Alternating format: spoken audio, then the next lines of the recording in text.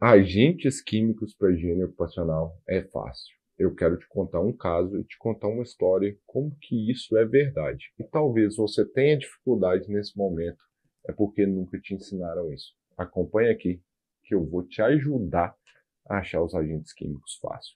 Esse caso aqui que eu vou contar para você aconteceu com um aluno meu do método H Fácil. Não sei se você sabe, no meu treinamento do método H Fácil, a gente tem as sessões de mentoria em grupo para os alunos. Essas sessões são exclusivas para os alunos e lá eles têm a oportunidade de abrir a câmera, conversar comigo e etc.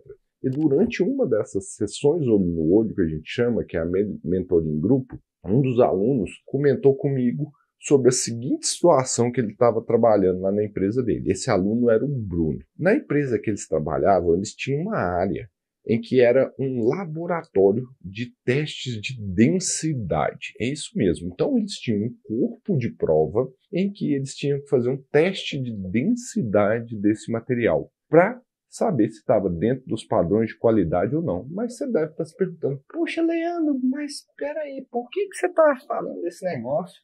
E o que, que isso tem a ver com agentes químicos? O teste de densidade era feito no com mercúrio. Isso mesmo. Não sei se você sabe, mercúrio é um agente químico extremamente tóxico, com limite de tolerância baixíssimo. E olha só como que era a situação no ambiente de trabalho. Existia uma sala em que os operadores ficavam dentro dessa sala e lá existia os aparatos para fazer o teste de prova. Só que tem um problema, você deve estar falando, como que resolve esse problema, etc, Leandro? Como é que faz? Para resolver esse problema dos agentes químicos? É fácil, é só eliminar, tira o mercúrio. Porém, porém, porém, porém, nada tão simples que não possa ser complicado, não é? Esse teste é o teste padrão ouro da indústria e não tem nenhum teste para substituir. Você deve estar pensando, meu Deus do céu, como é que faço? Meu Deus do céu, agentes químicos é difícil demais, como é que faz? Olha, é simples, eu vou te dar uma aula aqui, simples assim, ó, resumida, do que, que a gente discutiu nessa sessão olho no olho e a aplicação dos ensinamentos do método H-Fácil. O mercúrio está no anexo 11 da NR15, ele tem um limite de tolerância lá. E as exposições medidas ali foram medidas, e é simples, a medição desse agente é feita com um tubo, um tubo de para medição de vapores de mercúrio em uma vazão baixa. E aí foi enviado para o laboratório. A medição resultou em uma exposição acima do limite de tolerância da NR15. Então, teria que fazer o pagamento adicional de insalubridade. E aí, o que, que acontece? E aí, como é que faz? Vamos dar EPI para todo mundo, vamos resolver o problema, etc. Mas não só insalubridade. Se você fosse fazer gestão, você olhasse pela ACGIH, a exposição estava muito acima também do limite da ACGH. E olha que esse é o limite mais atualizado, mais cientificamente verdadeiro que a gente tem no momento. E aí, como é que se faz? Muita gente aí ia falar assim, ah, vamos dar EPI, não sei o que lá, etc. Mas para para você pensar. Olhe para você ver que os agentes químicos podem ser tão fáceis que basta você ter os conhecimentos, como por exemplo o que eu ensino no método H-Fácil. Você tem lá uma sala em que esse trabalhador ficava e os outros trabalhadores ficavam também. Então você teria que pagar adicional de insalubridade para um monte de gente. Ó, existiam algumas situações. A primeira é eliminação, se a gente fosse seguir a hierarquia dos riscos, né? Pensando na pirâmide invertida dos riscos. Eliminação, não tem como eliminar esse risco ali, porque ele está presente. Substituição, não tem outro método padrão na indústria, tem que usar o mercúrio ainda. Medidas de engenharia. Bom, podemos colocar um sistema de exaustão, enclausurar esse processo. É uma saída também medidas administrativas. Olha, será que essa turma toda precisava ficar dentro da mesma sala? Será que esse teste não poderia ser realizado em um outro local? Que aí, inclusive, o meu controle de engenharia não poderia ser menor, não poderia ser tão caro?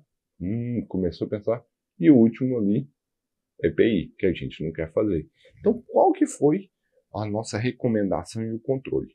Olha, o que, que acontece? Para manipular o mercúrio, esse teste deveria ser realizado em uma capela, no mínimo, especializada para o mercúrio, com capturação desses vapores e tudo mais. Então, o que, que a gente fez e o que, que esse aluno meu do método H Fácil fez? Ele foi, desenvolveu esse projeto para colocar uma capela, um sistema de exaustão local para a execução dessa tarefa. Simples, né? Resolver o problema. Mas qual que é o melhor? Quando você olhava em volta, por que, que aqueles demais trabalhadores tinham que estar ali é, durante toda a sua jornada de trabalho? Por que, que esse trabalhador aqui, de tempos em tempos pequenos, ao realizar as suas tarefas de ensaio de densidade desse material, tinha que ficar o tempo todo naquele ambiente exposto ao mercúrio. Por que, que eu não poderia mudar o local de, do ensaio dos testes, que é, acontece mais esporadicamente, e esses trabalhadores executariam suas tarefas ali dentro de uma sala em que não tivesse contaminação? Olha a diferença do profissional. Você sabe o que, aconteceu com esse aluno meu? Ele foi promovido porque isso aí foi só um exemplo de uma ação que ele fez. Por quê? Olha só, dentro dessa empresa já tinham vários e vários e vários outros profissionais ali dentro. E ninguém nunca tinha resolvido o problema. Essa empresa estava pagando adicional de salubridade para esses trabalhadores todos. E com uma simples mudança, que é a execução desse teste de densidade com uma capela em um ambiente externo e os trabalhadores que restam em outro ambiente resolveu-se um problema, gerou economia para a empresa e foi uma economia grande. E olha que não foi nenhuma medida mirabolante, não entre. Já parou para pensar nisso? Olha para você ver. Olha a diferença do profissional que é só um entregador de papel, um entregador de laudo, que só sabe entregar papel. E vamos ser sinceros, quem gosta de papel é praça, não é? De um profissional que é um higienista ocupacional valorizado. Olha, esses conhecimentos mudam a vida. Então, dominar os agentes químicos e dominar a higiene ocupacional é uma ferramenta muito importante para que você possa ser um profissional reconhecido, valorizado, se tornar uma referência na sua área. Olha, tudo que eu te falei aqui está no método HOFAS, que é o meu treinamento completo para te formar como higienista ocupacional. Se você quer ser um profissional referência na área de SST, o caminho é higiene ocupacional. Tem um link aqui embaixo para você clicar e conhecer o método HO Fácil. Caso seja o seu interesse de dominar a higiene ocupacional para se tornar uma referência na área de SST. E eu vou deixar aqui do lado um vídeo para você mostrando que esse negócio de insalubridade, etc., você esquece. Esse negócio aí, ó, não serve para nada. Você tem que, na verdade, é rasgar a NR15 se você quer ser um profissional valorizado e reconhecido. Veja esse vídeo aí que vai estar do lado.